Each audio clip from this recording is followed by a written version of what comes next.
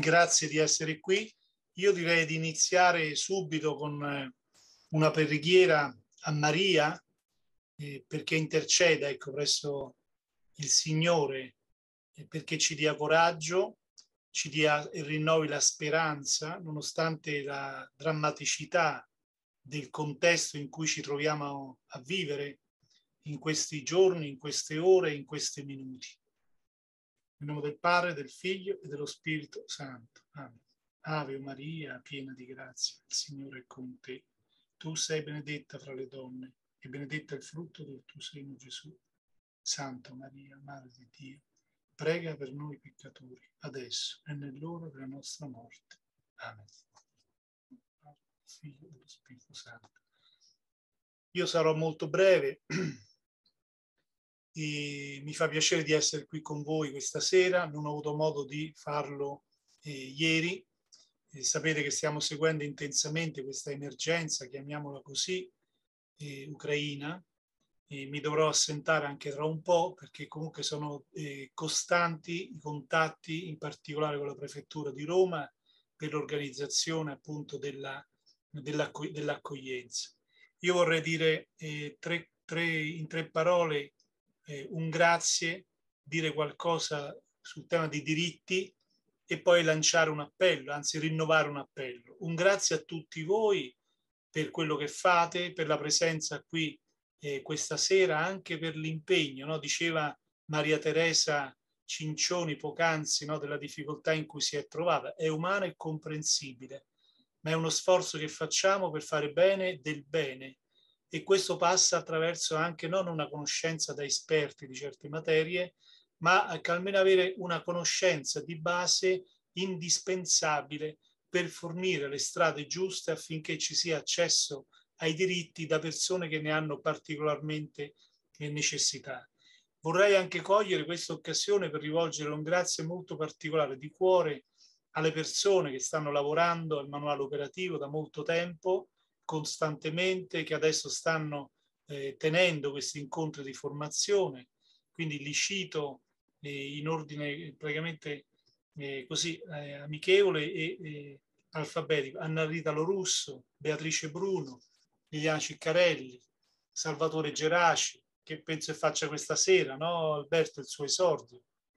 Eh, al, come d'altra parte Beatrice, state tranquilli, andrà bene perché siete gente brava, preparata, quindi tranquilli e sereni.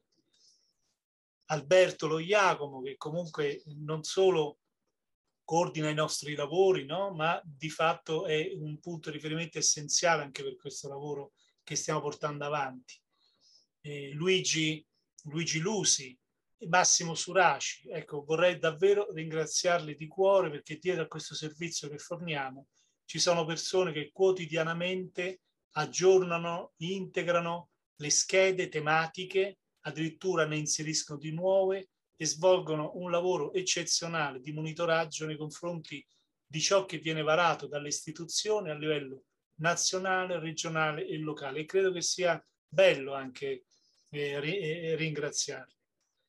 Poi vorrei dire qualcosa sui diritti. Noi parliamo oggi di una sezione del manuale operativo dei diritti è una cassetta degli attrezzi che voi vedrete nel tempo si diffonderà sempre più perché stiamo prendendo confidenza con certe materie nella convinzione appunto che non possiamo dare per l'emosina ciò che spetta per diritti. Può essere quasi una contraddizione che mentre ci sono milioni di persone sotto le bombe, eh, sono nati circa 50 bambini nei sotterranei bunker di alcune città, noi ci soffermiamo su questi diritti. Non c'è contraddizione. Diciamo che nel manuale operativo dei diritti noi parliamo di diritti quotidiani. Oggi chiediamo la preghiera delle persone, no? chiediamo il digiuno delle persone, chiediamo la solidarietà delle persone per promuovere e difendere alcuni grandi diritti che non sono esplicitati nel manuale operativo, ma che sicuramente hanno un legame con questi grandi diritti i diritti per cui comunque ci concentriamo anche come comunità ecclesiale. Sono il diritto alla vita, il diritto alla dignità, il diritto alla cittadinanza del popolo ucraino, il diritto alla libertà. Quindi noi pur confrontandoci con diritti che nell'attualità possono sembrare secondari, possono sembrare molto più schiacciati sulla quotidianità, siamo comunque sensibili a diritti più generali, cosiddetti grandi diritti, proprio fondativi dell'essere umano e anche della dignità delle comunità in un contesto universale.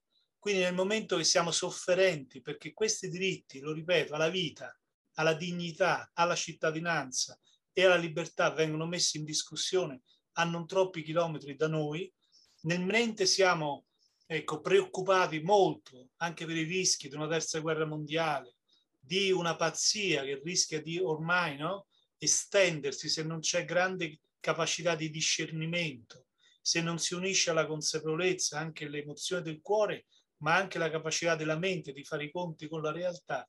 Ecco, noi con umiltà affrontiamo questi temi dei diritti quotidiani perché appunto non c'è contraddizione, anche se sicuramente i primi hanno una valenza molto più profonda e di carattere universale.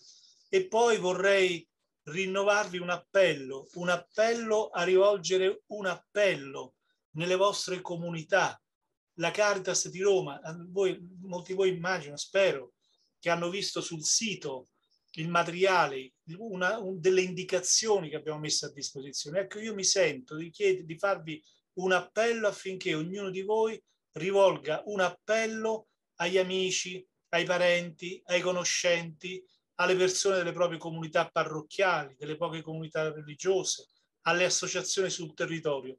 Noi in particolare possiamo fare tre cose. La prima, come credenti, la preghiera perché quello che sta avvenendo va al di là forse della mente umana, ci porta un po' di angoscia e noi invece dobbiamo rispondere con la speranza, con la fiducia che alla fin fine il bene prevarrà. Quindi la preghiera e il digiuno, il primo motivo di questo appello.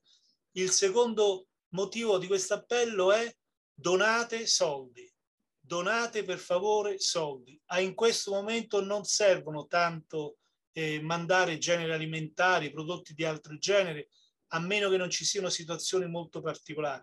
Serve far avere tramite la Caritas di Roma e quindi la Caritas italiana soldi alle Caritas della Polonia, dell'Ucraina, della Moldavia, della Romania, della Slovacchia che stanno facendo un grandissimo lavoro.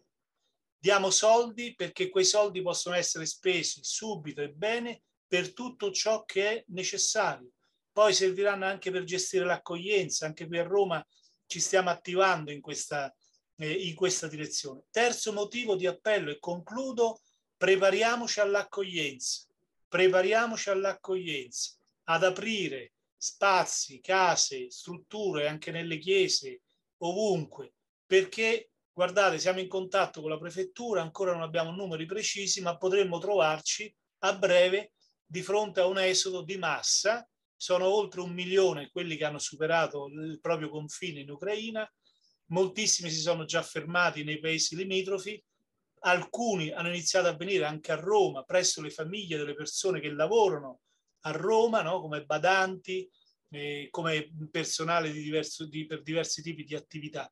Dobbiamo prepararci a un'accoglienza lunga, non solo im- immediata, per cui serviranno anche persone che possano accompagnare, stare vicino a coloro che verranno ospitati negli alberghi, che possono aiutare ad apprendere la lingua italiana, che possono aiutare l'inserimento dei bambini negli asili, dei minori, sono tantissimi minori.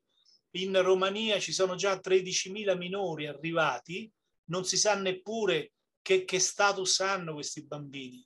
E siccome dai 18 anni ai 60 che i maschi vengono bloccati in patria per tentare questa resistenza, ci sono famiglie che stanno mandando via ragazzi di 16-17 anni purché possano salvarsi. Quindi questo appello anche all'accoglienza, all'accoglienza diffusa in collaborazione con le istituzioni, io vi pregherei di diffonderlo nelle vostre comunità, nelle vostre realtà, perché è inutile in questo momento, poi magari più avanti lo organizzeremo anche noi, è inutile in questo momento per problemi logistici, organizzativi, di costi e di sicurezza mettesi ad ammassare quantità di generi alimentari, di vestiti, di farmaci che si corre il rischio che vadano sprecati Quindi tempo al tempo andate sul sito, c'è anche lì una cassetta degli attrezzi, chiamiamola così, con dei documenti. Oggi penso Alberto abbia pubblicato anche le due schede operative della Caritas italiana che spiega le questioni relative alla raccolta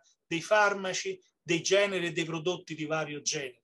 Ecco, io eh, la finisco, termino così, mi dispiace di non potermi trattenere fino alla fine, vi ringrazio molto, comunque seguirò poi le registrazioni che vengono fatte di questo lavoro.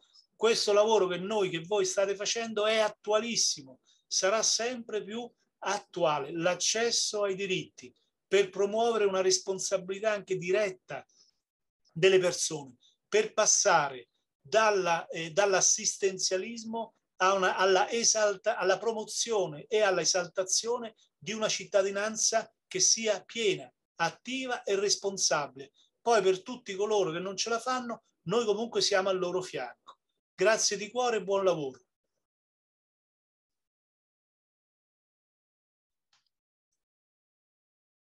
Allora, grazie Giustino, eh, grazie per la tua proattiva partecipazione e grazie anche e soprattutto per il tuo tempo.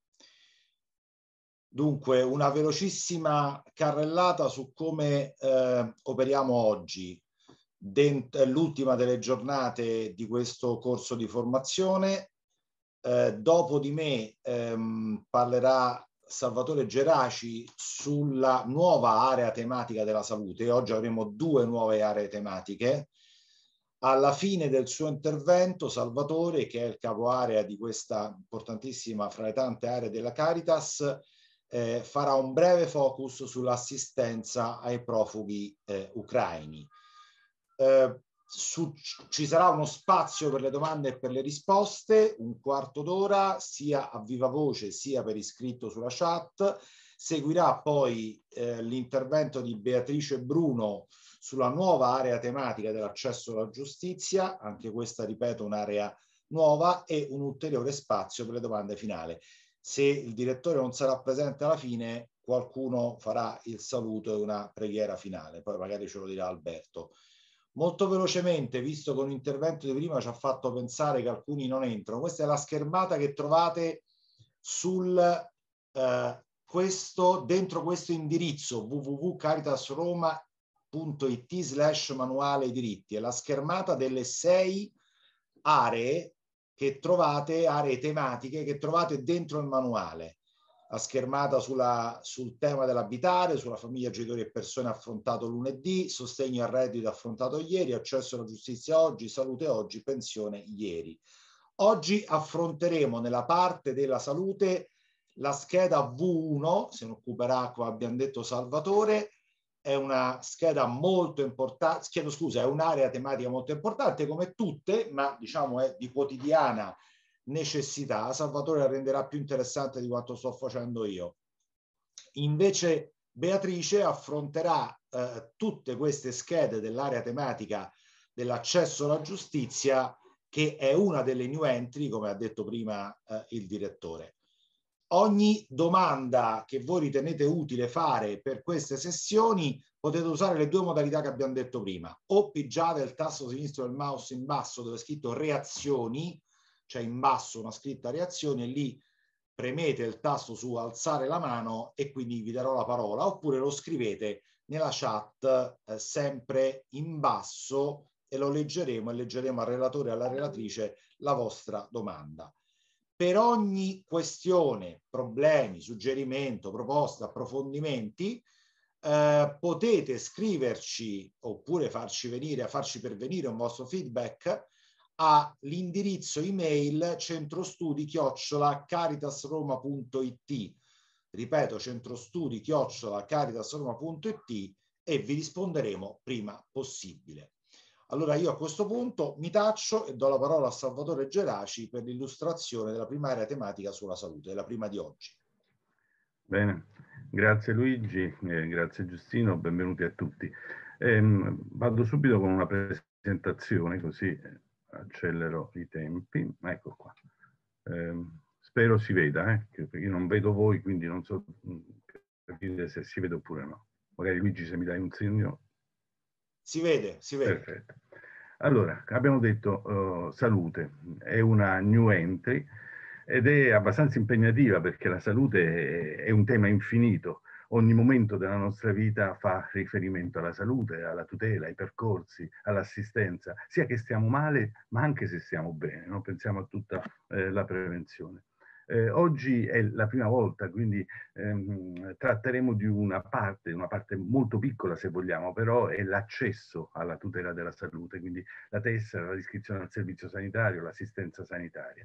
Anche di questo non parliamo di tutto perché volevo poi focalizzare l'ultima parte del, del mio intervento sul tema dell'assistenza ai profughi ucraini. Quindi ho scelto per, nel trattare il tema della eh, della salute, questo qui è l'indice, no, della, eh, ad esempio del V1, ehm, quella tessera assistenza sanitaria, ma ho scelto solamente alcuni passaggi che ci possono essere utili per poi capire quello che si può fare in termini di tutela, quindi di percorsi che possiamo indicare alle persone che arriveranno dall'Ucraina o che sono già arrivate o che stanno arrivando all'Ucraina per poter avere garantita una serie di diritti. Quindi parlerò di tessera sanitaria, parlerò di tessera sanitaria per i cittadini stranieri, gli ucraini pur essendo eh, in Europa sono dal punto di vista giuridico degli stranieri, cioè delle persone non appartenenti all'Unione Europea e quindi hanno dei profili di eh, tutela che sono particolari. Parlerò anche degli stranieri temporaneamente presenti, gli STP, eh, che è lo strumento che è stato utilizzato, che viene utilizzato in questo momento per garantire l'assistenza sanitaria a, agli ucraini e mh, mm, parlerò degli sportelli, del rilascio di questi tesserini STP e gli ambulatori STP eh, che, ripeto, sono funzionali per, eh, sempre per il tema dell'Ucraina. In realtà questa scheda è stata scritta prima, chiaramente, della, della guerra, quindi non c'è nessun riferimento agli ucraini, però fortunatamente il nostro ehm, sistema di tutela, sistema di diritti, di fatto già aveva in essere nel, nella sua struttura tutta una serie di disposizioni e di dispositivi che permettono comunque l'accesso ai servizi sanitari anche per questo tipo di eh, popolazione. E, questo mi porta alla premessa, è la prima volta che parliamo di diritto alla tutela della salute, quindi forse due parole di premessa eh, bisogna, eh, bisogna, dirle. Eh, noi abbiamo il diritto alla tutela della salute, è un diritto forte, è un diritto costituzionale, eh, sapete la Costituzione ha eh, diciamo un'ampia, un'ampia premessa eh, che sono quella dei principi fondamentali, dopodiché c'è la prima parte dei diritti e doveri dei cittadini e nei rapporti etico-sociali c'è l'articolo 32 che è l'articolo che riguarda proprio l'assistenza eh, sanitaria. Ed è interessante questo articolo perché è l'unico articolo nella nostra Costituzione, se togliamo i principi fondamentali, ed è dove accanto a un diritto si mette il termine fondamentale. Il diritto alla tutela della salute è fondamentale diritto non del cittadino, questa è un'altra eh, diciamo, unicità che è presente nella nostra Costituzione, ma un diritto dell'individuo imparato, diciamo, l'abbiamo ascoltato tante volte durante il periodo Covid, no? eh, che cosa eh, va messo in evidenza eh, rispetto ad altri diritti, eh, il diritto alla salute, il diritto a perdere alcune, anzi a, a, non poter conservare alcune libertà, ecco, il fatto che sia fondamentale lo fa mettere in una gerarchia estremamente eh, importante. Eh, però per, non basta che un diritto sia un diritto costituzionale eh, questo è uno schema dei bioetici, loro dicono eh, non, non, non, non, è sufficiente che la Costituzione dica che c'è un diritto, anche se è fondamentale, un diritto importante, perché poi il diritto deve diventare esigibile, cioè serve, servono delle leggi, dei dispositivi che permettono a quel diritto di essere nella quotidianità. Bene, in Italia questo passaggio dal diritto costituzionale, che viene chiamato come diritto di prima generazione, a un diritto invece esigibile, definito come diritto di seconda generazione, è avvenuto, è avvenuto nel 1978, quindi a distanza di qualche anno dalla, dalla Costituzione, con la legge 833. Le persone un po' meno giovani forse si ricorderanno che prima del 1978 sì, eh, avevamo dei livelli di garanzia dei diritti alle, eh, della salute, ma dipendevano molto eh, dalla classe sociale a cui appartenevamo. Eh, a secondo se appartenevamo a un gruppo piuttosto che un altro, a una mutua, come si chiamavano, rispetto alle altre. Quindi l'833 è stato veramente un passaggio importante, un passaggio che ha dato, come dire, gambe eh, alla Costituzione stessa. Sempre i bioetici ci ricordano un'altra cosa ed è il motivo per cui lo metto all'inizio di questo eh, intervento sulla, mh, mm, sulla mh, mm, salute che poi proseguirà in altri momenti anche di formazione chiaramente. Questo passaggio tra diritto enunciato alla quotidianità del diritto è condizionato comunque da una serie di fattori, situazioni socio-economiche, scelte politiche programmatiche. Noi abbiamo aspettato il 1978 in un periodo storico particolare per fare quella scelta, una capacità di organizzazione dei cittadini per dar voce ai propri diritti. Voi quindi pensate come dar voce a quei cittadini che non hanno voce. Ma quello che dice, dicono molti mm, eh, eh, bioetici, che questo percorso non è in un senso solamente, situazioni diverse possono provocare il passaggio, il ritornare indietro anche su determinati diritti che in qualche modo sono emersi. Quindi l'avere coscienza di quello che è il nostro diritto e il diritto soprattutto delle persone più fragili, secondo me è fondamentale anche per difendere costantemente eh, questo diritto. Eh, forse oggi l'attacco al diritto ha delle forme, diciamo, più subdole, no? Pensiamo alle assicurazioni private, eh, pensiamo agli altri pilastri del Servizio Sanitario Nazionale che che pur sono previsti per legge. Quindi bisogna un po' mm, stare attenti su questo. Ecco, 1971 istituzione del servizio sanitario e proprio nell'articolo primo del servizio sanitario si riprende quell'articolo della Costituzione che abbiamo visto prima e si dice quel mandato della Costituzione lo fa il servizio sanitario nazionale. Poi ci sono state tutta una serie di modifiche, adesso chiaramente non entriamo nel dettaglio, ma una modifica fondamentale in questo eh, percorso di aggiustamento eh, dell'Organizzazione per la tutela della salute avviene nel 2001, quando c'è una legge costituzionale che modifica il titolo quinto della Costituzione, ehm, eh, una serie di poteri che sono prima statali, eh, sono mh, esclusivi dello Stato, diventano concorrenti e vanno a livello eh, delle regioni. Uno di questi è l'organizzazione del servizio sanitario regionale. Quindi eh, dal 2001 si passa da un servizio sanitario nazionale che chiaramente rimane a un servizio sanitario regionale che invece deve in qualche modo eh, eh, garantire poi l'esigibilità dei diritti stessi. Eh, dal 2001 nascono anche quelli che si chiamano i LEA, livelli essenziali di assistenza. Ogni regione organizza l'assistenza nel modo che ritiene più opportuno, ma comunque non può non garantire uno zoccolo duro di eh, livelli di assistenza che appunto si chiamano livelli essenziali di assistenza. Può dare di più, ma non può dare eh, di meno. Ed ecco, dopo questa premessa, mi scuso per la estrema rapidità, ma insomma eh, per avere un po' mh, capire dove ci andiamo a collocare, eh, adesso entriamo nella prima scheda che trovate anche eh, nel ma manuale chiaramente. Io in ogni diapositiva ho segnato in basso eh, la scheda a cui fa riferimento, per cui tutte le cose che dico trova le trovate anche mh, sulla scheda, anzi sulla scheda trovate cose più dettagliate ed analitiche. E così nella scheda V1A eh, trovate la definizione, o meglio, che cos'è la tessera sanitaria. La tessera sanitaria è la chiave, diciamo, d'ingresso nel Servizio Sanitario Nazionale. È quel documento personale, individuale, ognuno di noi ce n'ha una, che viene rilasciato a tutti i cittadini. Qui forse termine cittadino dobbiamo considerarlo in senso molto lato, perché a tutti coloro che hanno diritto alla Servizio Sanitario Nazionale, che sono molti di più rispetto ai cittadini italiani, sono anche i cittadini stranieri, sono anche i cittadini eh, comunitari. Ehm, questa la conosciamo ormai, tutti ce, ce l'abbiamo, ci arriva a casa, eh, l'abbiamo imparata a conoscere in questo periodo, soprattutto se dovevamo prenotare i tamponi piuttosto che vaccini eh, sui siti eh, della regione o delle singole ASL, abbiamo scoperto che ad esempio c'è un retro eh, della tessera eh, sanitaria che, che è un retro estremamente importante. Guardate cosa c'è scritto in alto. Tessera Europea Assicurazione Malattia, TEAM.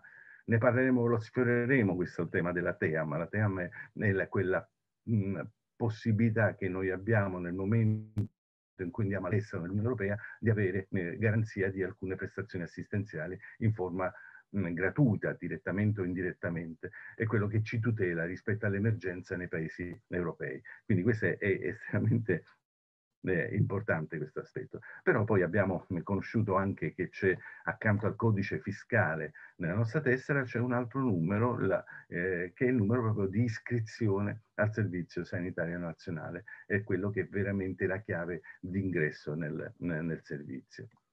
Eh, la tessera sanitaria chiaramente è strettamente collegata all'iscrizione al Servizio Sanitario Nazionale, che per noi cittadini italiani è un diritto dovere non possiamo non iscriverci o decidere di fare altro, cioè non possiamo effettivamente andare da chi vogliamo per curarci, però dobbiamo comunque essere tutti iscritti al servizio sanitario. Per iscriverci serve un codice fiscale, eh, serve eh, l'iscrizione all'anagrafe. Per il cittadino non italiano la situazione è un po' più complicata, eh, perché non tutti i cittadini non italiani hanno il diritto dovere di iscrizione al servizio sanitario. Molti ce l'hanno, ma è differenziato con dei requisiti diversi a secondo se uno è straniero, abbiamo detto prima, lo straniero è la persona non appartenente ai paesi dell'Unione Europea, quindi gli ucraini sono europei ma non fanno parte dell'Unione Europea e quindi sono stranieri dal punto di vista eh, giuridico. Ehm, gli albanesi, ad esempio, sono analoghi agli ucraini dal punto di vista proprio eh, giuridico. Eh, lo spagnolo, il tedesco sono invece eh, comunitari. Ecco, e quindi l'altro grosso gruppo è quello dei cittadini comunitari. Quindi adesso passo dalla scheda V1A alla scheda V1B e V1C. In realtà parto dalla C, da quella più lontana, perché sono gli stranieri, eh, la tessera sanitaria per i cittadini stranieri. E ripeto, giustifico questa partenza, diciamo, ehm, eh, non cronologica rispetto a quella che, che, abbiamo scritto sul manuale, proprio per eh, eh enfatizzare quello che può succedere, che succede, che deve succedere per quanto riguarda l'assistenza sanitaria ai cittadini ucraini. Eh, queste sono le norme di riferimento, chiaramente non c'è bisogno di, che ve le descrivo, ma tanto quando avrete le diapositive potete ritrovarvele. Eh, segnalo solamente quella in verde in basso, che è un accordo Stato-Regioni del 2012 che riassume tutte le norme per l'assistenza sanitaria sia per gli stranieri eh, sia per i cittadini comunitari. Bene, la norma, che è una norma del 1998, quindi non è, diciamo, eh, vicinissima, e tra l'altro è anche interessante perché abbiamo detto che il Servizio Sanitario Nazionale nasce nel 1978 eh, e abbiamo detto che un, nasce come un, uh, un servizio che, di, che, è di tipo equo ed inclusivo. Nessuno è escluso per il Servizio Sanitario Nazionale. Però, per quanto riguarda gli stranieri, abbiamo dovuto costruire delle norme specifiche perché il Servizio Sanitario Nazionale non prevedeva l'assistenza agli stranieri. E perché non la prevedeva? Perché l'Italia in quel periodo non era terra di immigrazione, tutt'al più era terra di emigrazione. Quindi nel, nella legge istitutiva del Servizio Sanitario Nazionale troviamo ad esempio la possibilità di assistere a cittadini italiani che risiedono all'estero e che vengono temporaneamente in Italia, ma non troviamo l'assistenza strutturata per le persone straniere. Quindi c'è stato tutto un percorso che ha fatto emergere eh, questo diritto. No? Vi ricordate quello che ho detto sul diritto che costituzionale sì, noi avevamo chiaramente l'input costituzionale che gli stranieri dovevano essere inclusi, ma dovevamo farlo diventare poi legge esigita. E questo è successo. È successo nel 98, è diventato legge piena e eh, l'idea di, di questa legge è che tutti, la stragrande maggioranza degli, degli, immigrati regolarmente presenti devono avere un'inclusione ordinaria nel sistema di tutela come tutti eh, i eh, cittadini. Ehm, e quindi mh, mm, eh, è stata costruita questa, questa, norma. Lo stesso si è voluto intercettare il bisogno di chi è invece al margine del eh, sistema. Ehm, tutto questo lo trovate nella scheda V1C, quindi non entro troppo nel, nel dettaglio, eh, comunque la stragrande maggioranza, il 97% di, degli stranieri che hanno un permesso di soggiorno hanno il diritto dovere di iscrizione al Servizio Sanitario Nazionale. Mm, eh, dipende chiaramente dal permesso di soggiorno, questo è l'elenco dei permessi di soggiorno che chiaramente non ve li leggo, li potete trovare ehm, e come vedete sono mm, sostanzialmente tutti i permessi di soggiorno legati al lavoro, tutti i permessi di soggiorno legati alla famiglia, tutti i permessi di soggiorno legati alla protezione eh, sociale. Eh, queste persone che hanno questi tipi di permessi di soggiorno hanno il diritto dovere di iscrizione al servizio sanitario e all'atto dell'iscrizione iscrizione comunque non, è, eh, non si deve pagare. C'è poi un'altra parte marginale che però potete trovare nel, nei vostri centri, persone che vi chiedono, che non possono iscriversi eh, obbligatoriamente al servizio sanitario, ma possono scegliere di farlo eh, cioè non hanno il diritto dell'iscrizione obbligatoria, ma possono iscriversi volontariamente. Tipicamente sono gli studenti, tipicamente sono chi ha una residenza elettiva, tipicamente sono persone che hanno motivi religiosi che non lavorano in Italia. Se uno lavora, sia studente, sia chi ha un motivo religioso, automaticamente passa a livello di maggiore tutela, cioè l'iscrizione obbligatoria.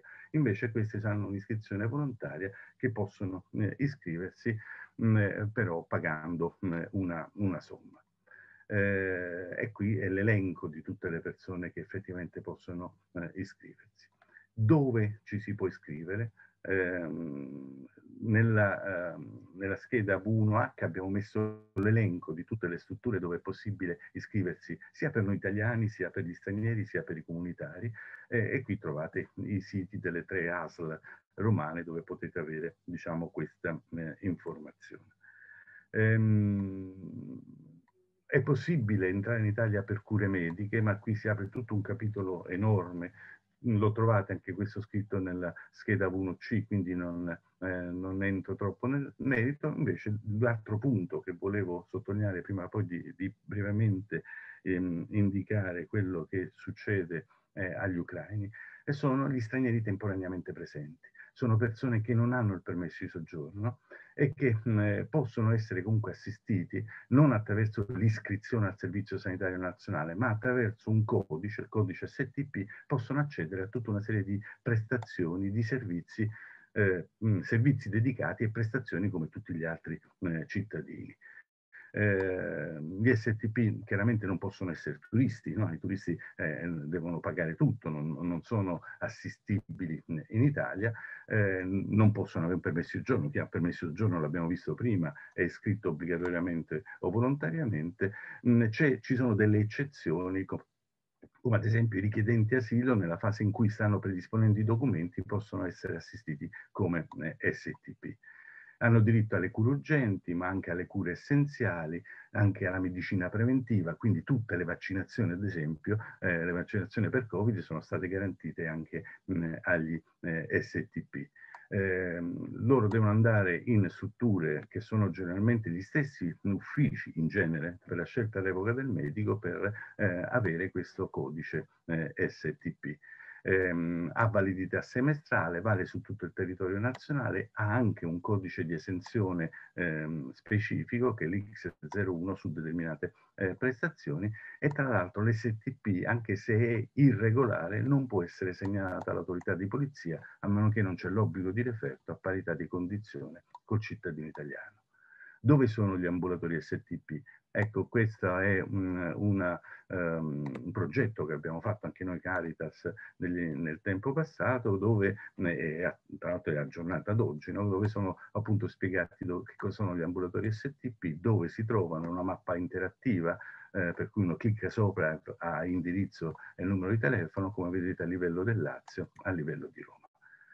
Eh, tessera sanitaria per i cittadini comunitari, come vi dicevo qui non, non vi dico nulla perché il tempo non c'è ed è mh, mm, troppo articolata, però ci stanno le due schede che sono la V1B e la V1F, una per i cittadini comunitari, una per i cittadini comunitari in condizioni di fragilità sociale, un po' simile agli STP, però questi sono definiti ENI, le trovate, sono abbastanza dettagliate nel, eh, nel, mh, mm, nel manuale. Ultima cosa, eh, concludo emergenza eh, ucraina. Questo è il sito della Caritas che è stato citato prima da, eh, da Giustino. Eh, cosa si può fare subito, nell'immediato? Ehm, eh, devo dire, l'UNHCR insieme all'ARCI sono stati eh, diciamo, quelli che hanno immediatamente dato le informazioni, informazioni corrette, perché ne sono girate diverse, dicendo subito che comunque gli ucraini potevano entrare in Italia, come in Europa, nell'Unione Europea, senza bisogno di visto. Questo già succedeva da, da qualche anno. Um, chiaramente non possono essere equiparati, come succedeva fino a qualche tempo fa, a dei turisti. Eh, quindi le persone che entrano anche mh, senza visto, in questo caso possono avere, fin tanto che non abbiano un permesso di soggiorno che in questi giorni è stato deciso a livello europeo che verrà rilasciato, ma fin tanto non, non hanno quel permesso di soggiorno possono accedere ai servizi sanitari, alle vaccinazioni, alla prevenzione attraverso l'STP. Ecco perché ho parlato di STP prima.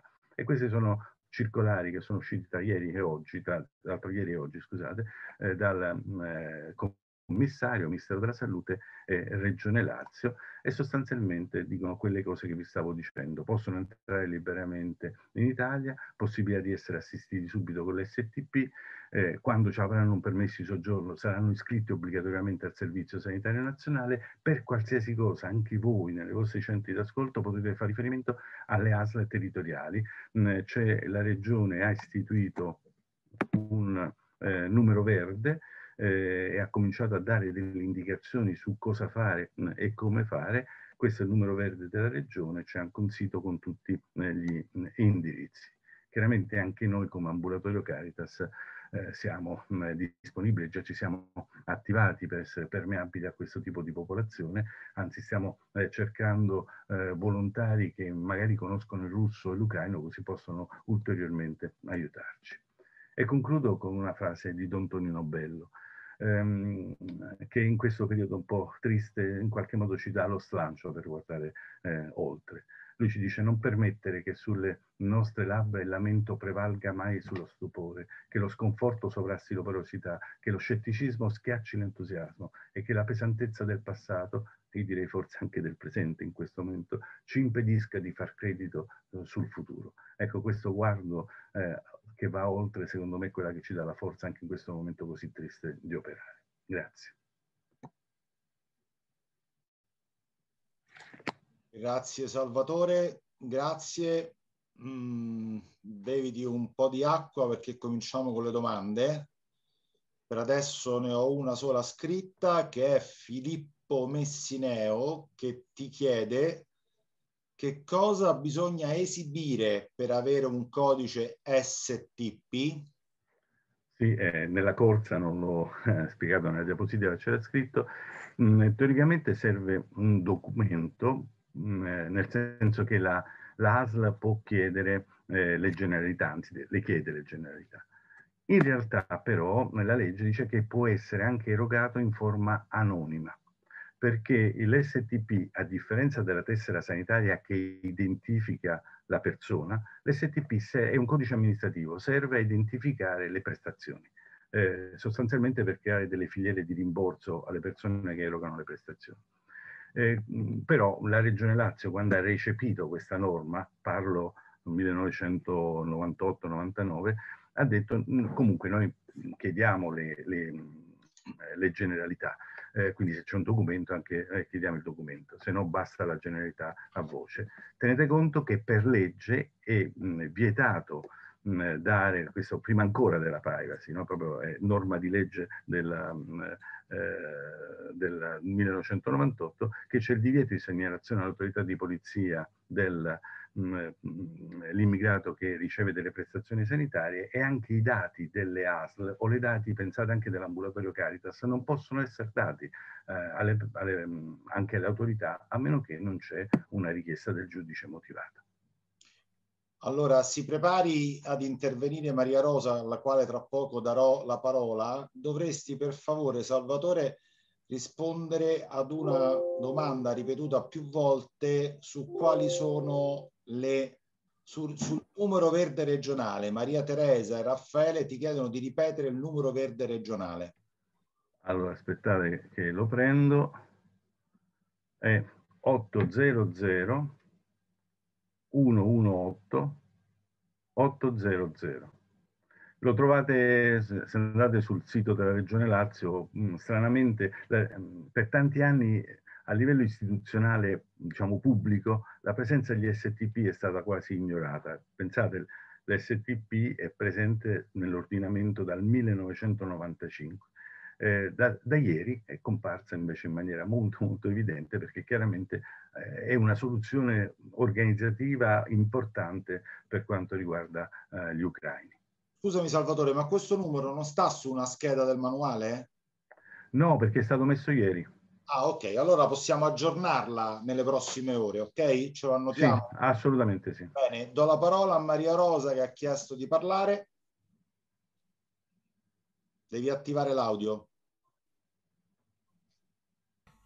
Allora, Salvatore, grazie perché questa organizzazione oggi ci ha salvato perché all'ospedale San Giovanni sono arrivate già le prime donne in gravidanza e anche dei bambini. Quindi un ringraziamento Salvatore perché io sono giorni che ti tempesto, ma tanto comunque tu lo sai che da me sarebbero passate comunque.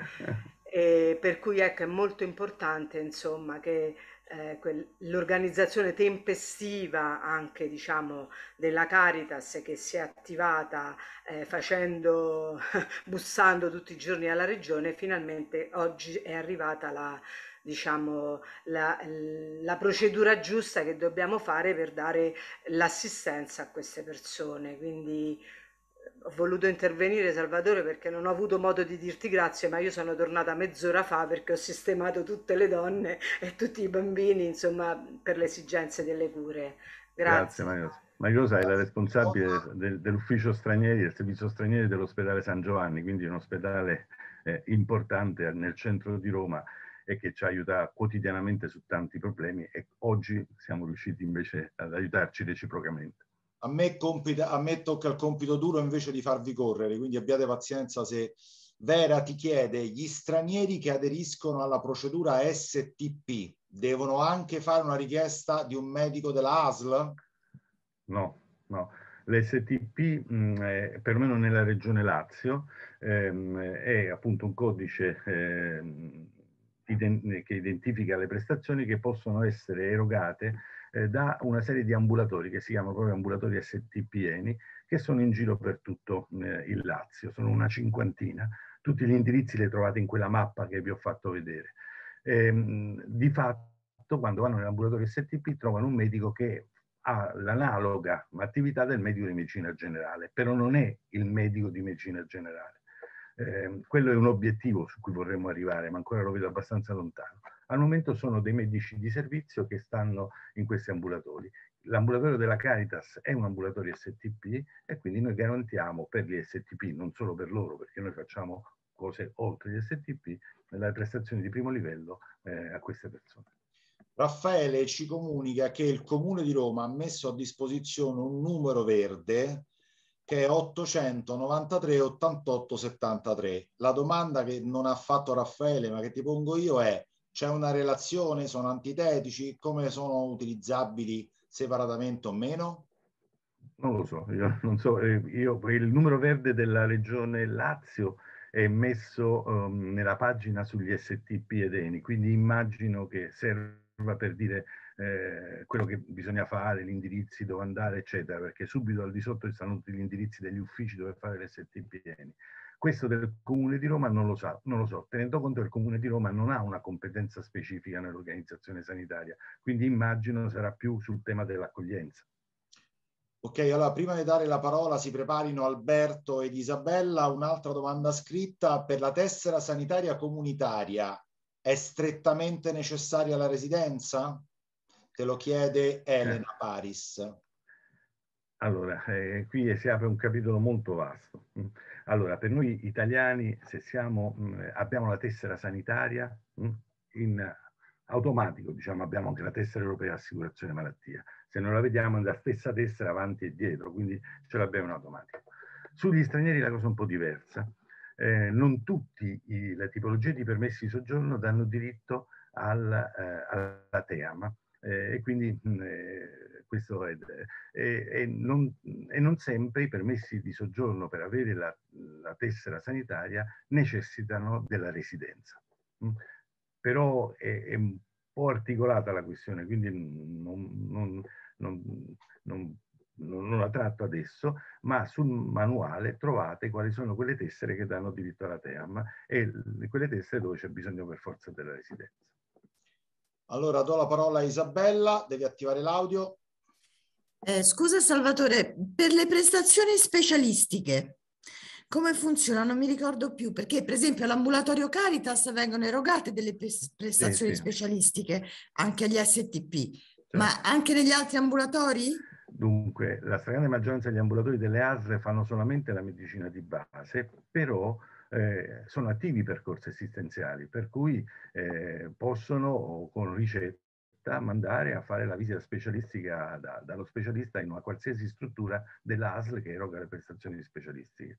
Noi le facciamo insieme perché noi abbiamo in qualche modo cercato di anticipare quello che poi sarà la casa della comunità fra qualche tempo, cioè nel momento in cui intercettiamo il bisogno di una persona fragile cerchiamo di risolvere tutto insieme, tu lo sai bene, cioè facciamo visita di base, visita specialistica, diagnostica e diamo pure le medicine, proprio perché sappiamo che poi ri, ri, rintercettarlo diventa difficile.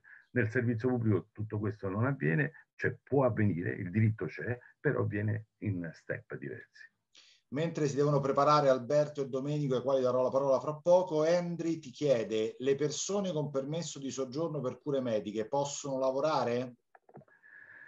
Eh, eh, dunque, mm, eh, questo è un, un, dibattito aperto. Fino a poco tempo fa no. Mm, eh, mm, pare che invece dopo la riforma, la, dopo la legge Lamorgese no, del 2020, eh, si è aperta un'interpretazione che possono lavorare. Il problema è che il permesso per cure mediche, che noi non abbiamo affrontato, eh, sono quattro permessi diversi. Noi chiamiamo permesso per cure mediche quattro situazioni completamente diverse eh, e quindi va eh, in qualche modo contestualizzato eh, volta per volta. Però diciamo, mh, mm, gli avvocati stanno insistendo che effettivamente, eh, ripeto, con la riforma, con l'ultima legge Lamorgese, anche chi ha un permesso per cure mediche ai sensi dell'articolo 36, cioè chi viene dall'estero per curarsi, possa lavorare. Tutto questo è, è un po' discutibile perché chi viene dall'estero per curarsi significa delle patologie particolarmente invalidanti. Quindi, insomma, eh, è una, una situazione in evoluzione. Eh, L'Associazione Studi Giuridici sull'Immigrazione ha fatto proprio un piccolo manualetto, sono 38 pagine, eh, dove spiega tutte le possibilità con i permessi per cure mediche. Bene, Alberto, ti ho attivato l'audio. Ok, mi senti? Sì. sì. Allora, volevo chiedere, tornare un attimo sull'emergenza uh, ucraina, o degli ucraini che arrivano in Italia, sì. per capire se c'è qualche già indicazione più precisa su questo aspetto particolare noi abbiamo già eh, qualche famiglia che, ci, che, si rende disponibile a, a, accogliere nelle loro case queste persone. Ma noi nel dare questo assenso, nel, nel, nel, cercare di avviare eventualmente questi contatti, ci poniamo un problema di natura sanitaria, di capire se queste, perché abbiamo sentito e letto un po' di cose che ci fanno capire che insomma c'è un problema di vaccinazione Covid, per esempio perché soltanto il 35% degli ucraini sono vaccinati c'è un problema che sarebbero arrivati alcuni già con la malattia in corso e quindi c'è un problema anche di, eh, come di fare uno screening preliminare per capire eh, che, come orientare le persone. Ecco, ci sono già delle linee guida, delle indicazioni per capire come attivare questo percorso, atteso anche che la Caritas sta facendo un lavoro di, eh, come dire, eh, di monitoraggio delle disponibilità che esistono in questo senso sul territorio romano, insomma, e quindi sta chiedendo a tutte le parrocchie, a tutte le prefetture di dare delle indicazioni in questo senso. Guarda, noi stiamo attendendo che la Regione ci dia delle indicazioni. Mm, è uscita una circolare del Ministero della Salute che dà alcune indicazioni. Eh, noi in Italia, tra l'altro, abbiamo delle linee guida sull'accoglienza dei profughi eh, tra l'altro con un accordo Stato-Regione, quindi insomma è applicabile ad ogni singola regione, dove ci dicono quello che bisogna fare nelle varie fasi dell'accoglienza. Io ritengo che una parte di linee guida debbano essere applicate anche per quanto riguarda i profughi eh, che vengono dalla, dalla, um, eh, dall'Ucraina. Eh, tra l'altro quelle linee guida eh, prevedono anche un monitoraggio, ad esempio, per alcune patologie, quale non necessariamente infettive, ma patologie croniche, che secondo me, tenendo conto del tipo di, di popolazione che arriverà, forse donne e bambine all'inizio, ma poi persone anche anziane, sarà quello, o, o diciamo non troppo giovani, eh, sarà quello da andare a monitorare. La regione ancora non ha detto niente, comunque voi sicuramente se arrivano mh, delle persone sarebbe il caso comunque di inviarle eh, per una visita preliminare o insomma eh, all'ambulatorio STP più vicino se prevale per il, per il, momento il fatto dell'STP. Nel momento in cui gli daranno a queste persone uno status, e dovrebbe succedere a breve, eh, queste persone potranno essere iscritte al Servizio Sanitario Nazionale e quindi potranno avere un medico di medicina generale. Quindi lì il riferimento non diventa più l'ambulatorio della, della ASL, ma diventa il medico di medicina generale che non so per alcuni versi se è meglio o peggio, eh, però mh, sicuramente è un riferimento certo. Domenico, a cui sto attivando l'audio, forse voleva capire bene la differenza fra codice STP e codice ENI. Domenico, puoi attivare il tuo audio. Se vuoi intervenire di persona devi attivare il tuo audio. Un attimo. Prego. Sì, esatto, confermo la domanda. Eh, ma sono domande che devo stare una serata a parlarvi della differenza. Prova, prova a, far, a sorprenderci. prova a sorprenderci allora, ENI sta per europeo non iscritto, è un codice non nazionale, mentre l'STP è un codice nazionale, l'ENI è un codice regionale. Solamente alcune regioni ce l'hanno e noi ce l'abbiamo. E per quelle persone che si trovano in Italia ehm, senza residenza, eh, che non lavorano, quindi che non hanno un contratto di lavoro, eh, che mh, non sono venute per curarsi da altri paesi dell'Unione Europea, che sono in condizioni di indigenza. L'esempio tipico può essere il Rom rumeno. Mm. Eh, allora, a queste persone viene dato il codice ENI che ha come tipo di prestazioni possibili le stesse dell'STP. Mm. Questo nella regione Lazio, eh, perché in altre parti non c'è. La differenza sostanziale è che il codice deve, essere, deve passare con l'identificazione della persona perché l'ASL deve verificare che quella persona non abbia la TEAM, perché nell'Unione Europea, tutti i paesi dell'Unione Europea devono dare ai propri cittadini, ai propri concittadini la TEAM se vanno solamente per alcune prestazioni della TEAM. Se invece non ha la TEAM, è povero, è fragile, tutte quelle cose che vi ho detto, ha diritto al codice ENI che dà diritto sostanzialmente alle stesse prestazioni, con una differenza sostanziale però che è quella che per le specialistiche devono pagare il ticket, cosa che invece l'STP non deve fare. Allora, ehm, Raffaele, sì, Raffaele. Salvatore, per dare aiuto si può inserire la persona ucraina nel SIS Caritas? Penso di sì, no, io non, non lo so perché noi Forse non possiamo chiedere a Giuliana se può rispondere a questa domanda? Prima l'ho vista.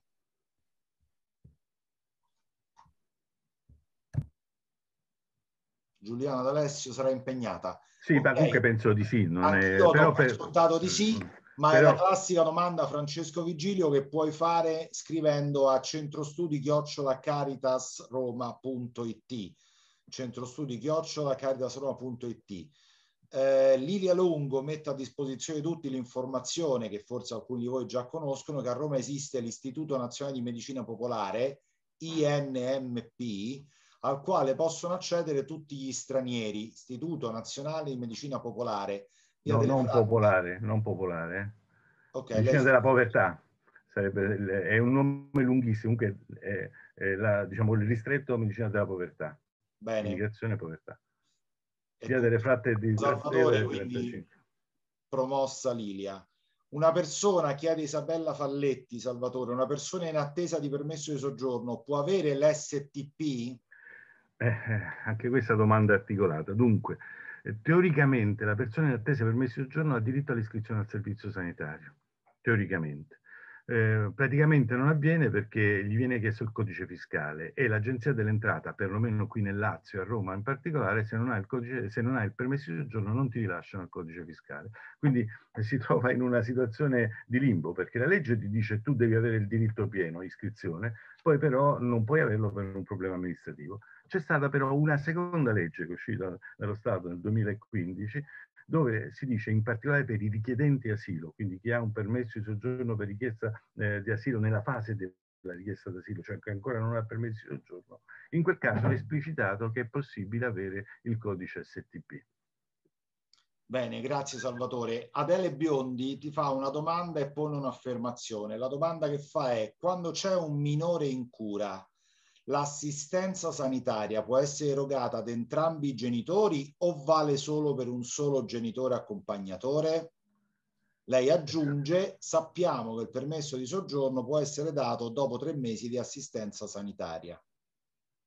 Allora, se il permesso di soggiorno per um, accompagnamento minore, se hanno questo tipo di permesso di soggiorno, se ce, l'hanno tutte e due, possono avere tutte e due l'assistenza, tenendo presente che però anche lì è... Mh, eh, diciamo, eh, limitata se poi si entra nel percorso lavorativo, cioè se lavorano loro sicuramente possono avere questa assistenza, se no eh, l'hanno abbastanza limitata, cioè non hanno l'iscrizione al servizio sanitario.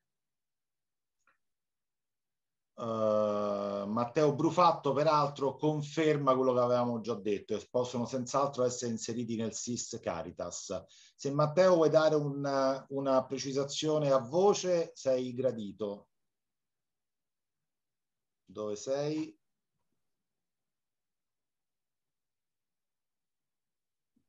Non ci sei più. Giuliana è comparsa. Giuliana, hai sentito la domanda di prima? No, non ti preoccupare. Va bene, abbiamo già risposto. Allora, siccome siamo molto lunghi con i tempi, io non ho altre domande. Una domanda di Filippo Messineo la girerò all'ufficio preposto. Ehm, sì, Matteo, ma non ti vedo però.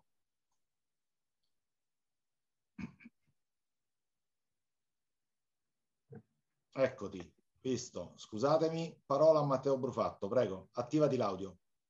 Vai. Buonasera a tutti, buonasera. Un brevissimo intervento. Sicuramente le parrocchie possono inserire le persone che si rivolgono a loro nella piattaforma SIS, non ci sono limitazioni, che è come nella normalità, non ci sono particolarità in quanto sono persone provenienti dall'Ucraina. Se le parrocchie ritengono di inserire una persona nel SIS perché è utile nella logica della rete e dell'accompagnamento progettuale, possono senz'altro farlo.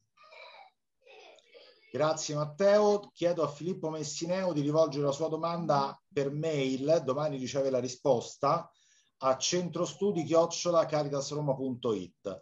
Allora, non ho altre domande. Ah no, Giuliana ha chiesto di parlare. Prego Giuliana, attiva l'audio. Sì, eccomi, scusatemi. L'unica precisazione che volevo fare è che eh, naturalmente se le famiglie poi richiedono l'emporio e quindi l'inserimento del codice fiscale per quel motivo, può risultare una limitazione. Quindi l'unica, diciamo così, handicap rispetto all'inserimento nel SIS riguarda in questa fase la mancata attribuzione di un codice fiscale. Però se poi questa cosa verrà comunque risolta dalla parte documentale, ci sarà la possibilità di avere il pieno utilizzo anche rispetto all'attivazione di eventuali tessere emporio. Scusatemi, volevo solo aggiungere questo. Buona serata. Grazie. Allora Beatrice, il tuo momento, eh, nuova area, accesso alla giustizia. A te la parola.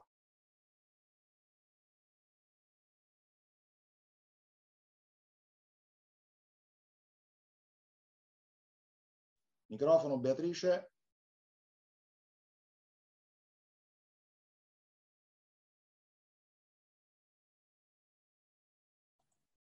Buonasera a tutti. Allora.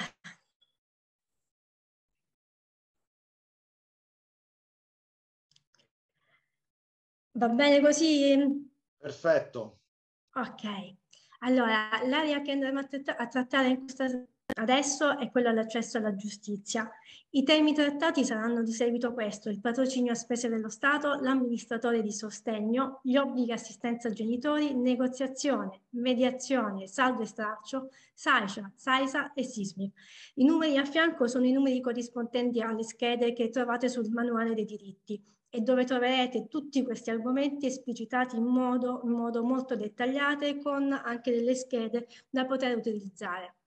Che cos'è il gratuito patrocinio dello Stato? Chiunque di voi ha chiamato il NAC sicuramente lo saprà già. È un istituto che consente ai meno ambienti di agire, difendersi da fronte alle autorità giudiziarie. In quali procedimenti è assicurato? Sia in quello civile, sia in quello penale, sia in quello amministrativo, sia in quello contabile che tributario. Ne hanno diritto tutti i cittadini italiani, sia stranieri, sia gli apolidi, purché regolarmente soggiornanti sul nostro territorio, nonché gli enti senza scopo di lucro e le associazioni. Ne sono esclusi alcuni soggetti che hanno ricevuto una condanna definitiva, sono prettamente disciplinati e definiti dal legislatore, pertanto li trovate sul manuale dei diritti. Qual è il requisito per accedere al patrocinio a spese dello Stato? È soltanto uno, è quello reddituale. Il reddito non deve essere superiore agli 11.746 euro. Quando si parla di reddito, però, bisogna prestare un attimino di attenzione perché non si parla semplicemente del reddito del richiedente all'ammissione al gratuito patrocinio, ma si parla di reddito di tutti i componenti del nucleo familiare, ovvero di tutti quelli che stanno sullo stato di famiglia. Ora, la soglia di 11.746 euro è una soglia netta per quanto riguarda i procedimenti civili. Per quanto riguarda invece i procedimenti penali, a questa soglia va aggiunto, vanno aggiunti 1.000 euro per ogni componente della famiglia. In alcuni procedimenti poi il legislatore non tiene conto del reddito dei componenti della famiglia, ma soltanto del reddito del componente, di chi richiede l'ammissione. Possono essere i reati di violenza domestica oppure di oppure di, di maltrattamenti in famiglia o violenza sessuale, mentre per altri tipi di reati per, no, chiedo scusa, ci sono alcuni procedimenti per cui non si tiene conto del reddito degli altri componenti della famiglia, che sono dei procedimenti come la separazione tra i coniugi, mentre per altri tipi di procedimenti come, eh, non, non, è previsto il limite di eh, reddito. E in questo caso si parla di violenza domestica oppure di violenza sessuale. Um, il procedimento per quanto riguarda il procedimento civile, la domanda deve essere presentata presso il Consiglio dell'Ordine dagli avvocati territorialmente competente. Eh, si parla mh, di ammissione al gratuito patrocinio soltanto per il procedimento giudiziario. Tutto ciò che sta fuori giudizio, quindi che sta fuori dal tribunale, o meglio si parla di fase stragiudiziale, non è coperta dal gratuito beneficio al ricaduto patrocinio, ad eccezione di due eh, istituti stragiudiziali, che è la mediazione e la denunciazione, che andremo a trattare più avanti.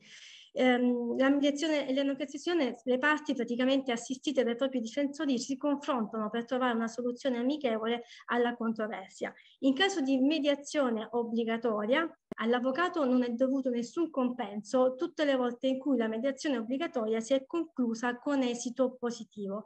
Per quanto riguarda invece l'istituto della negoziazione, all'avvocato non è dovuto nessun compenso da parte di chi si trova nella condizione per l'ammissione al gratuito patrocinio ovvero se, tenendo conto del limite di reddito. Per, per quanto riguarda il procedimento penale, chi è che può chiedere l'ammissione di patrocinio? Sia l'imputato, sia la persona offesa dal reato, sia il danneggiato, sia il responsabile civile. Anche in questo caso vi sono alcune categorie che sono esclusi dalla richiedere la possibilità di essere ammesse al gratuito patrocinio e possono essere sia l'indagato, sia l'imputato o il condannato dei reati commessi in violazione delle norme per la prevenzione e l'evasione fiscale oppure sulle imposte sui redditi o nel caso in cui si ha più di un difensore. La domanda, in questo caso per il procedimento penale, va presentata presso la cancelleria del magistrato del procedimento. Ora, il gratuito patrocinio come si richiede? Attraverso un'istanza um, che può essere che è disponibile o cartacciamente presso il Consiglio dell'Ordine oppure si può anche scaricare online. Chi è che la presenta? L'istanza eh, la presenta o la parte che fa la richiesta o tramite raccomand- come si invia questa richiesta al Consiglio dell'Ordine o personalmente si porta manualmente o tramite raccomandata o tele- telematicamente presentata in questo caso dall'avvocato che ne autentica la sottoscrizione. Non dimentichiamoci che la richiesta di ammissione al gratuito patrocinio è un'autocertificazione sui redditi. Essa va depositata in duplice copia, uno al Consiglio dell'Ordine e l'altro all'Agenzia delle Entrate, anche perché non dobbiamo dimenticarci che è sottoposta poi a controllo da parte dell'Agenzia delle Entrate. Il richiedente straniero, quindi extracomunitario, deve allegare una certificazione dell'autorità consolare competente che attesti la veridicità di quanto dichiarato nell'istanza per quanto riguarda i redditi all'estero. Ora, una volta presentata la domanda, qual è la procedura? Può essere accolta e in questo caso la parte che viene ammessa al gratuito patrocinio non deve pagare l'onorario all'avvocato, non deve pagare il contributo unificato, non deve pagare una serie di spese. Può essere rigettata e in questo caso è possibile ripresentare la domanda successivamente al, al giudice competente del giudizio ma eh, essendo un'autodichiarazione sul reddito, nel momento in cui la parte, la beneficiario ma ha, nel, ha delle modifiche, ha l'obbligo di comunicarlo e pertanto può successivamente anche rinunciare all'ammissione al gratuito patrocinio. Oppure, nel caso in cui ci siano delle modifiche sempre di reddito, oppure l'interessato ha agito in giudizio per, o resistito in giudizio per malafede o colpa grave, lo stesso giudice può, può revocarglielo con decreto. Um, se il soggetto eh, ammesso al gratuito patrocinio vince la causa, il pagamento delle spese legali è a carico della parte soccombente, cioè della parte di chi ha perso. Però se la parte soccombente non paga, lo Stato può esercitare un diritto di rivalsa su, al soggetto ammesso al gratuito patrocinio quando, se per sentenza o transazione la parte ammessa abbia conseguito almeno il sestuplo delle spese o nel caso di denuncia all'azione o di estinzione del giudizio.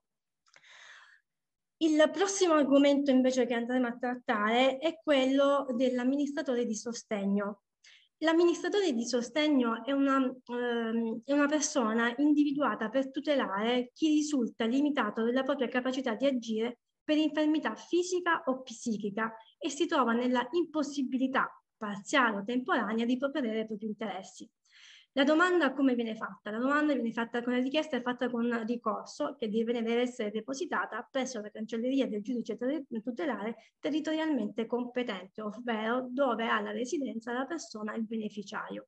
Chi può fare la richiesta per la, della, della nomina dell'amministratore di sostegno? La parte personalmente, tutte le volte in cui sa che può incorrere in una infermità fisica o psichica o in una possibilità parziale o temporanea, quindi eh, in temporanea i familiari fino al quarto grado, gli affini fino al secondo, ma anche il pubblico ministero, il tutore, il curatore e gli assistenti sociali tutte le volte in cui ne vengono a conoscenza di fatti tali da rendere necessaria la nomina. Una volta presentato il ricorso, il giudice fissa un'udienza e, una volta fissata l'udienza, nomina con decreto l'amministratore di sostegno. Nello stesso decreto l'amministratore definisce in modo chiaro e netto quelli che sono i compiti e i poteri dell'amministratore di sostegno Ciò non toglie però che nonostante siano definiti all'interno del decreto quelli che siano i compiti dell'amministratore di sostegno, la, ehm, ci sono alcuni atti in cui l'amministratore di sostegno deve chiedere in ogni caso l'autorizzazione al tribunale, al giudice tutelare per poter, per poter compierli, come possono essere l'acquisto di beni oppure contratti di locazione di, di, di, di durata superiore a nove anni oppure riscuotere capitali è un istituto prettamente gratuito, o meglio, nasce gratuito. Successivamente però eh, il giudice tutelare può, diciamo, in um, vista l'entità, considerato anche l'entità del patrimonio del beneficiario, può liquidare un'equa indennità a fine, um, del, a fine, a, a, a fine anno quando c'è l'obbligo della rendicontazione. Ora, il prossimo argomento che spesso viene richiesto anche come all'ufficio NARC è quello dell'obbligo di assistenza ai genitori. Tutti noi sappiamo che i genitori hanno l'obbligo di mantenere, istruire, educare i figli e il mantenimento è fino a quando devono mantenere i genitori i figli, fino a quando questi non sono, diventano indipendenti o non li mettono nelle condizioni di essere indipendenti. L'obbligo di assistenza dei figli nei confronti dei genitori scatta tutte le volte in cui questi risultano praticamente, eh, non risultano più in grado di provvedere eh, al proprio mantenimento. I presupposti affinché sorga il diritto agli alimenti quali sono? Lo stato di bisogno oggettivo dell'alimentato, l'incapacità di provvedere vedere in tutto e in parte il proprio sostentamento economico, la capacità dell'obbligato e il vincolo di relazione che è individuato strettamente dalla legge. I soggetti obbligati appunto a prestare gli alimenti sono stabiliti dalla legge in, in modo anche abbastanza gerarchico e i figli sono obbligati a mantenere, a prestare gli alimenti ai genitori in base al proprio bisogno e proprie, in base ai propri bisogni, genitori in stato di bisogno in proporzione alle loro sostanze. Questo cosa vuol dire? Che il figlio o si porta a casa il genitore oppure lo mantiene economicamente. Essendo un vincolo diciamo alimentare è un obbligo può, portare, può essere modificato nel tempo, può subire delle modifiche quindi nel tempo, può anche estinguersi perché vengono meno i presupposti, ma c'è da sottolineare il fatto che essendo un obbligo alimentare la, la violazione di, eh, comporta un reato che, che, che, viene anche punito abbastanza severamente. Il, il, prossimo istituto che andremo invece a, a descrivere è quello della negoziazione che è un istituto stragiudiziale, cioè tutto ciò che avviene prima di andare in giudizio. La negoziazione assistita consiste nell'accordo attraverso le quali le parti si impegnano a cooperare in buona fede e con lealtà per risolvere una controversia tramite l'assistenza di uno o più avvocati.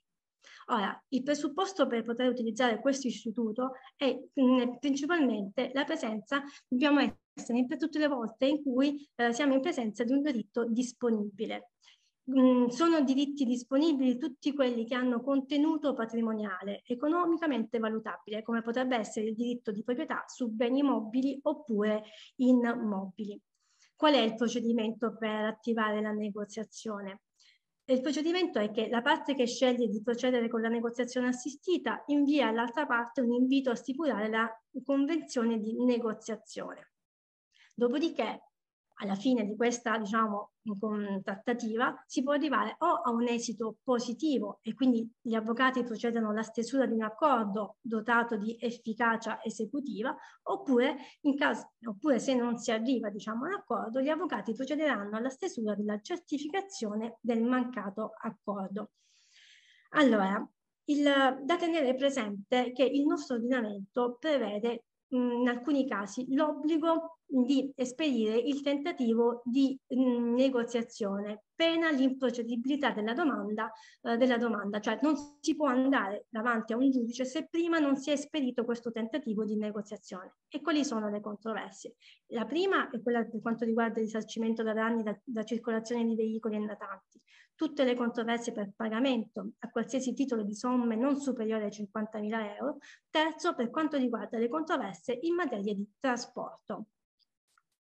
Esiste, così come è prevista una negoziazione obbligatoria, come abbiamo detto che c'è l'obbligo dell'improcedibilità davanti al giudice se non viene spedita, esiste anche una negoziazione non obbligatoria. Ma quella su cui noi andremo un pochino a soffermarci in realtà è la negoziazione assistita cosiddetta familiare.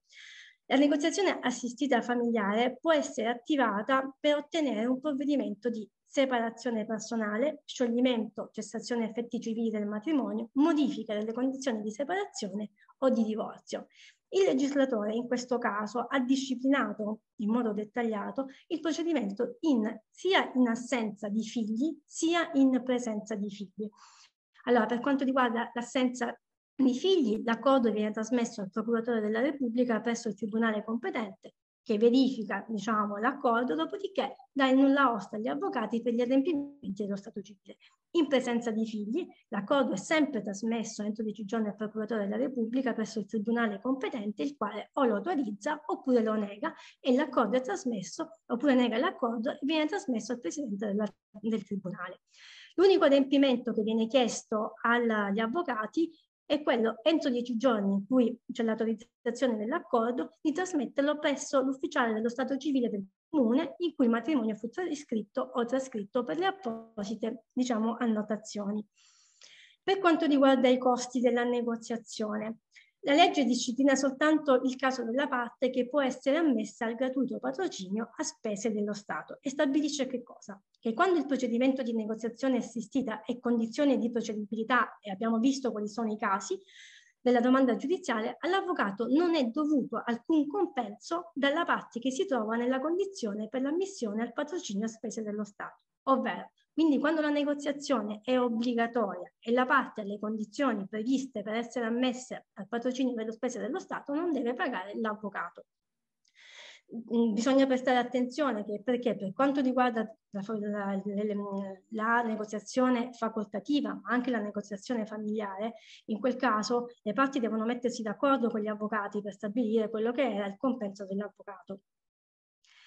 Un altro istituto stragiudiziale che ehm, andremo a vedere è quello sulla mediazione. La mediazione è un'attività svolta da un terzo per assistere due o più soggetti alla ricerca di un accordo amichevole, sia per la composizione di una controversia, sia per la formulazione di una proposta per la soluzione della stessa. Quindi abbiamo comunque sempre due parti che in questo caso oltre all'ausilio degli avvocati, hanno un organismo terzo, appunto l'organismo di mediazione, che usa, li, li aiuta alla risoluzione della controversia. Ora, per quanto riguarda il procedimento, può svolgersi solo ed esclusivamente innanzi agli organismi di abilita, di mediazione abilitati. Esiste un apposito elenco presso il registro del Ministero della, della, della Giustizia dove poterli trovare, ma anche gli organi, gli organi professionali e anche altre associazioni private fanno questo tipo di servizio. Per quanto riguarda la competenza, l'istanza di mediazione deve essere depositata presso l'organismo nel luogo del giudice territorialmente competente per quanto riguarda la competenza invece giudiziaria. L'esito della mediazione, come può essere? Può essere positivo, in questo caso viene redatto l'accordo di mediazione e l'accordo ha efficacia di titolo esecutivo per quanto riguarda l'esecuzione forzata, l'esecuzione di obblighi di fare, di non fare, l'iscrizione di ipoteca giudiziaria. Può essere un esito negativo, in questo caso viene redatto un verbale comunque di mancato accordo, c'è da dire che per quanto riguarda le, eh, il procedimento di mediazione, sono previste numerose, il, il, si va in, il, legislatore per incentivarle ha previsto una serie di agevolazioni fiscali. Infatti tutti, quasi tutti i documenti e provvedimenti sono esenti sia imposta di bollo che da qualsiasi spesa, tassa o diritto. C'è da dire che la parte ammessa al gratuito eh, patrocinio non deve pagare alcunché all'organismo di mediazione um, il valore, cioè la, le spese per quanto riguarda la mediazione variano a seconda di quanto è la, um, il valore della causa. Comunque partono da un minimo di 40 per un massimo di 60 euro, se, se, um, 60 euro, se, 60 euro. Abbiamo diversi tipi di mediazione. E la mediazione obbligatoria, che è un'obbligazione ehm, è un'attività che va espedita appena l'improcedibilità del, del, procedimento, nel senso che non si può andare davanti a un giudice se, se, se non si espedisce il tentativo di eh, mediazione. E le materie sono quelle del condominio, diritti reali, sono ritrovate ehm, nel manuale dei diritti tutte quante elencate. Poi c'è una mediazione concordata, ossia quando le parti nel, nel fare, nel, inserir, inseriscono all'interno di un contratto, di uno statuto, di un patto, ehm, l'obbligo di espedire il tentativo di mediazione prima di andare in tribunale. La mediazione demandata, che invece è il giudice titolare del procedimento che dice alle parti guardate dovete spedire il tentativo di mediazione e lo, lo, lo pone come condizione di procedibilità del procedimento e quindi stabilendo anche le modalità, i luoghi, spesso il, anche il mediatore. E poi c'è una mediazione volontaria, questo tipo di mediazione che può essere applicata soltanto in presenza di diritti disponibili, come può essere il diritto di proprietà su beni mobili o immobili, come possono essere i contratti di lavoro, fornitura di beni e servizi tra imprese e consumatori, oppure i contratti di natura commerciale. In questo tipo di mediazione non è obbligatoria la presenza dell'avvocato. Le parti possono spedire direttamente all'organismo di mediazione. La scheda invece R7, quella sul saldo e stralcio. Quando noi parliamo di saldo e stralcio ci, mh, mm, facciamo subito riferimento alle cartelle esattoriali. In realtà è un istituto stragiudiziale e, ed è, mh, mm, e cosa consiste? È un accordo transattivo proprio tra il debitore e il creditore il primo, il debitore, quindi si impegna a corrispondere una somma di importo inferiore rispetto a quella originaria e il creditore accetta. È un accordo tra le parti, a questo al fine semplicemente il creditore per rientrare in possesso prima del, del, proprio, eh, del proprio, credito. Um, I prossimi istituti che andremo a vedere sono il SAISH, SAISA e SISMID. Sono, tre, eh, diciamo, sono servizi forniti dal comune ma erogati dai municipi territorialmente competenti. Ora, per quanto riguarda il SAISA, è un servizio uh, per l'autonomia e l'integrazione della persona disabile, è un servizio socioassistenziale rivolto alla persona disabile attuato dal servizio sociale del municipio e dal servizio sociosanitario della ASL che operano un piano di intervento individuale. Come abbiamo detto è un servizio fornito dal comune ma erogato dal, dal municipio territorialmente competente attraverso degli enti accreditati. Bisogna presentare una domanda a chi è che, a chi è che viene erogato questo servizio e in quale modalità? Sulla base di una valutazione del bisogno socio-assistenziale della persona, esiste una graduatoria e viene attivato ehm, soltanto se le risorse però del bilancio del municipio lo, ehm, lo prevedono. Purtroppo non, no, i fondi non sono sempre tanti. Il SAISA invece è un servizio per l'autonomia e l'integrazione sociale della persona anziana. Quindi ehm, anche questo viene fornito dal comune ed erogato dal municipio territorialmente competente sulla base della valutazione del bisogno socio-assistenziale. Chi è che può accedere a questo tipo di servizio? Donne che, hanno mh, superato i 60 anni di età e gli uomini che ne hanno superato i 65, residenti nel municipio, parzialmente autosufficienti o del tutto non autosufficienti. Bisogna presentare una domanda sul manuale dei diritti troverete eh, le modalità, anche in questo caso ci saranno delle graduatorie e, ehm, a cui mm, successivamente si verrà chiamati. E infine il, il SISMIF, che è un servizio per l'integrazione e il sostegno a minori in famiglia.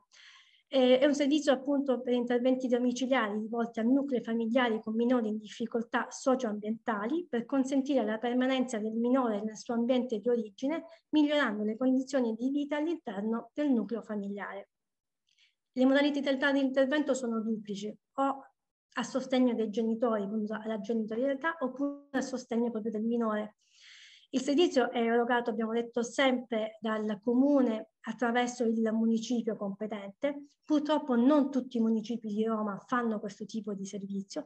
Spesso e volentieri viene attivato dal servizio sociale, in alcuni casi viene attivato anche a richiesta delle parti. Ehm, anche in questo caso bisogna presentare una domanda. Io grazie, ho finito. Grazie, grazie Beatrice. New entry insieme a Salvatore dentro il manuale dei diritti. Allora, Beatrice, bevi un goccio d'acqua perché abbiamo già delle domande per te. Eh, a una abbiamo risposto in diretta, Raffaele ci chiedeva se il reddito è diverso dall'ISE e abbiamo detto di sì, perché come abbiamo detto nella mh, sessione di lunedì, l'ISE è la raccolta del patrimonio del nucleo familiare. Sì, allora, è un indicatore. Allora, dicevo, eh, la, parola, fra, domanda per te di Cristina, intanto si prepari Claudio a cui darò la parola e poi darò la parola a Isabella. La domanda di Cristina è, anche genitori e fratelli sono obbligati ad assistere la persona con una evidente fragilità economica e psicologica? Sì, la domanda risposta è sì. La legge prevede appunto che i genitori, esiste proprio un obbligo da parte diciamo, dei delle persone, dei congiunti, all'obbligo assistenziale. Grazie. Claudio, attivato l'audio. Sì, io, senti, sì, volevo sapere tutti questi benefici economici, eh, soprattutto gli ultimi, SIS, SISMIS, sembrano, sembrano le sigle dei servizi segreti interni esteri. I SAISA, i SAISA e SISMI. Esatto sono sommabili ad altri introiti per la famiglia eh, che è in condizioni di... cioè ci sono dei limiti di reddito, se c'è il reddito di cittadinanza, quello non si può ottenere, come funziona? Perché mm, c'è un grande, almeno dal punto di vista mio, servirebbe un quadro sinottico a frecce incrociate, se così allora cos'ha? Uh, altrimenti è un elenco di voci. Per quanto riguarda il SAISA e il, eh, il SAISA eh, vengono presentate delle domande. No, non è previsto il limite di reddito. Mm, Luigi chiedo conferma. Ehm... Lo confermo, ma confermo anche che nelle schede è precisato molto bene, quindi non ci si perde. Eh, Beatrice ha solo il dovere di illustrarle, ma dovete poi andare sempre a consultare le schede e lì avrete dettagli. Prego Beatrice. No, non è previsto il limite di reddito. Mm, l'esame della pratica viene fatto in base alla problematica di salute e, e quindi la graduatoria viene fatta principalmente in base all'esigenza della, dell'assistito, Bene, del beneficiario. Allora, mentre si prepara Isabella, a cui darò la parola, parola fra poco, eh, Beatrice è arrivata la domanda alla quale ci siamo preparati da giorni. Antonio dice non capisco la differenza fra negoziazione assistita e mediazione. Ci sono dei casi in cui si può adire all'una o all'altra indifferentemente? Allora, la differenza tra negoziazione e mediazione è che nella mediazione abbiamo un organismo terzo che è il mediatore, cioè l'organismo di mediazione, che è un soggetto terzo che ha l'obbligo, cioè che nella sua funzione di aiutare le parti a trovare una soluzione oppure a proporre una soluzione. Nella negoziazione invece sono le parti assistite dai propri difensori che trovano mm, una soluzione al problema. Fondamentalmente la distinzione tra negoziazione e mediazione è questa. Bene, Isabella, ti ho attivato l'audio, devi attivarlo tu e poi parlare. Sì, Scusa, volevo capire meglio che tipo di assistente, di, di servizio può essere erogato per i bambini? Eh, per quanto riguarda il, il SISMIF? Sì. Mh, mm, nello specifico non te lo saprei dire, devo essere sincera. Però eh, questa è la classica domanda, grazie Isabella di averla fatta intanto, che cortesemente Beatrice annoterà e risponderemo direttamente, senza bisogno che tu ce la richieda Isabella, eh, attraverso la, mh, mm, la, email di eh, centrostudi chiocciolacaritasonoro.it. Ti prego Beatrice di registrare questa domanda. Allora, prima di dare la parola a Giuliana che ha chiesto la parola, eh, Patrizia ti chiede, Beatrice, se noi possediamo già un elenco dei municipi che attuano il SISMIF. No, dovete chiedere volta per volta perché l'anno scorso erano semplicemente tre, quest'anno sinceramente non, non, non mm, dovete andare a chiedere. Allora, mi pare di capire che bisogna verificare di municipio in municipio. Giuliana, puoi attivare l'audio.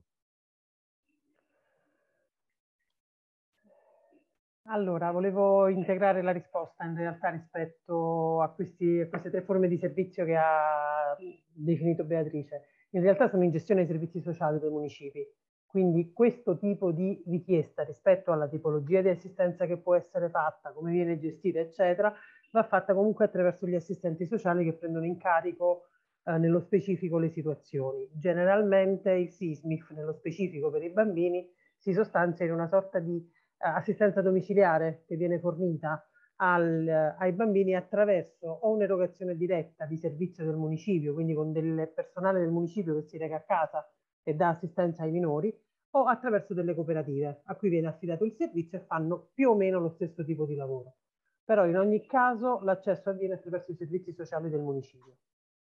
Mi sì. sembrava giusto darvi almeno come indicazione, poi nello specifico Beatrice e Luigi saranno in grado di darvi tutti gli indicatori del caso, però... No, no, ma direi che, più che Giuliana ha fatto bene a fare questa precisazione, perché le cose che ha appena detto Giuliana eh, sono esattamente dentro la scheda che trovate nel manuale e quindi a significare che la scheda è ovviamente molto più ricca di informazioni e dettagli che in parte ringraziamo anche Giuliana di averci fornito, che non possono essere tutti riportati qua perché altrimenti faremmo delle sessioni accademiche annuali e non giornaliere. Però ti ringrazio Giuliana perché è molto essenziale il tuo intervento. Eh, io in questo momento non ho altre domande scritte, ad alcune ho risposto io per iscritto direttamente, non ho nemmeno altre richieste di intervento. Ci sono altre richieste? Bene, non ne vedo, non vedo scritte e nemmeno richieste di intervento con la mano. Allora mi pare di capire che eh, possiamo ringraziare con molta passione sia Salvatore prima che Beatrice poi per queste nuove ehm, aree tematiche inserite nel manuale di diritti eh, prendo atto che la richiesta che ha fatto qualcuno di avere un riferimento per quanto riguarda la questione della eh, Ucraina deve passare per le strade che il direttore Giustino ha illustrato all'inizio di questa sessione. Ricordo che questa registrazione, come quella di ieri, verrà inviata o domani o lunedì a tutti gli ehm, iscritti a questo corso la persona che ha scritto che non ha ricevuto l'email di lunedì 28, o meglio la registrazione, chiedo perdono, con email dell'evento di lunedì 28 può richiederlo a centrostudi chiocciolacaritasroma.it e gli verrà immediatamente eh, girato. Io se non ci sono eh, altre cose disattivo l'audio per tutti, vi saluto e vi ringrazio aspettandovi la prossima volta.